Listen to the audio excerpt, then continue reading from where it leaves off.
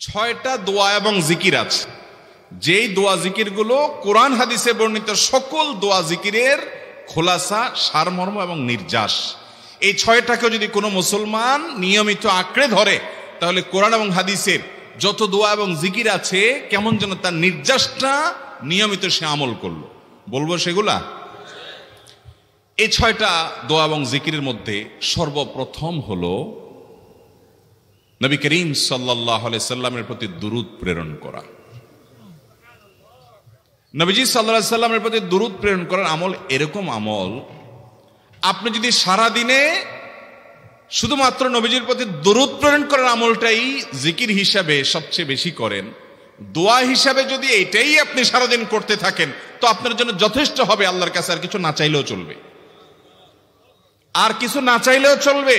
দুরুদ মানে হলো নবীজির জন্য দোয়া করা। ভাই, আল্লাহ তার হাবিবকে রহম করবেন। আপনার আমার দোয়ার দিকে আল্লাহর তাকানোর কোনো ঠেকা আছে? নবীজি কি আমাদের দোয়ার কোনো মুখাপেক্ষী?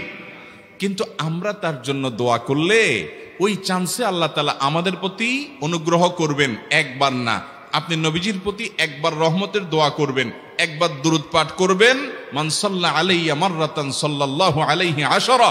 নবীজি আলাইহি সাল্লাম বলেছেন, একবার আমার জন্য তোমরা দোয়া করলে, আমার প্রতি দুরুদ পাঠ করলে, আল্লাহ তালা তোমাদের জীবনে দশ বার দশ জায়গায় টেন টাইমস তোমাদের উপরে আল্লাহ তালা অনুগ্রহ করবেন। আপনি টেরও পাবেন না কত জায়গায় আল্লাহ অনুগ্রহ করেছেন। আল্লাহ বাঁচাই দিয়েছেন একটুর জন্য শেষ হয়ে যান নাই। ওই যে দূরত পড়ছেন আল্লাহ তালা রক্ষা করছে, আপনি খবর, খবরও নাই।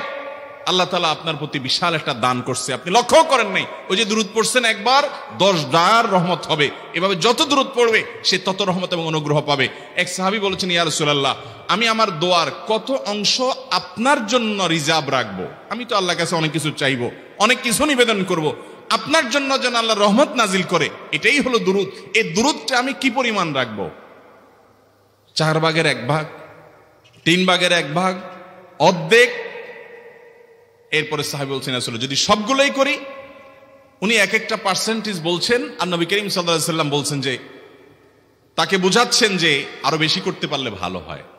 তো সাহাবি বাড়াইতে বাড়াইতে শেষ পর্যন্ত বলেন যে, আমার দোয়া যদি সবগুলো আপনার জন্য করি, আমি যদি আর কোনো দোয়া না করি